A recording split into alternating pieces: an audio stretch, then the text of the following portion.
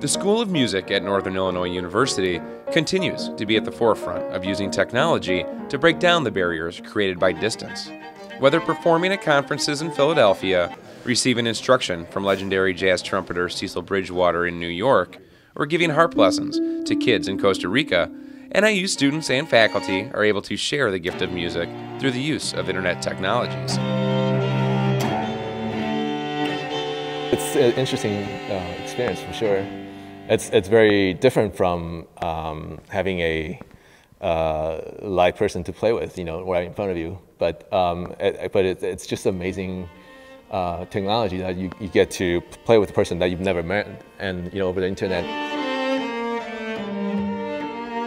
It's very helpful, um, and the sound that comes through across the, the internet you know, it's it's as close to to you know, a live performance as you can get. It seems that even even some of my colleagues and friends in the in the uh, the music industry are giving and receiving you know lessons like over Skype and, and, those kinds of things and connecting with people that way. And I think this this enables us to to break through a lot of boundaries.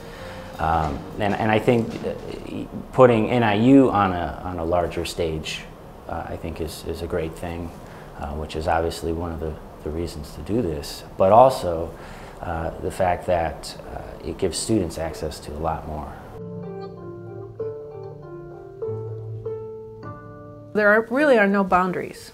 So they get a little bit of a taste of what, what it might be like to uh, study with someone in a different culture, that that is important as we um, blend our, our ideas together.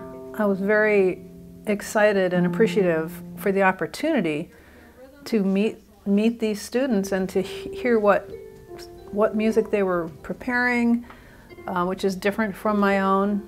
Some of the music is different. Um, to be able to see them know that this is live, that it's almost the same thing as sitting in the studio with them so now I have another network. That's, that's really exciting to me. It, it sort of drops the boundaries and um, I, I see it as the wave of the future.